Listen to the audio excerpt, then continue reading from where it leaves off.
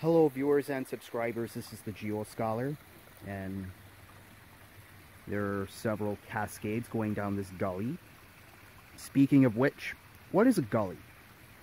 It's a type of erosion landform. And what you have is running water, in this case a stream. You have running water cutting deep and sharply into the soil. And it looks similar to a ditch, except it's a lot larger than a ditch. It's smaller than a gorge. It's smaller than a canyon, but it's bigger than a ditch. It's formed as the result of erosion. You have water basically cutting sharply into the soil.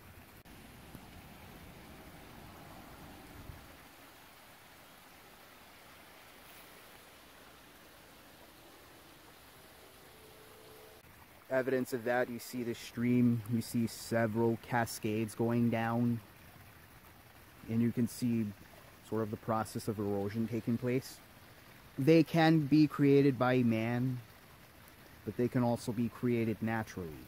Whenever you have a substantial amount of water flow, you have a relatively high water flow rate, it, it can cut sharply into the soil.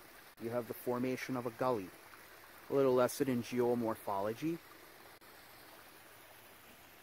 If you like this video, be sure to check out other videos on this channel, and as always, be sure to leave a comment, like, and subscribe.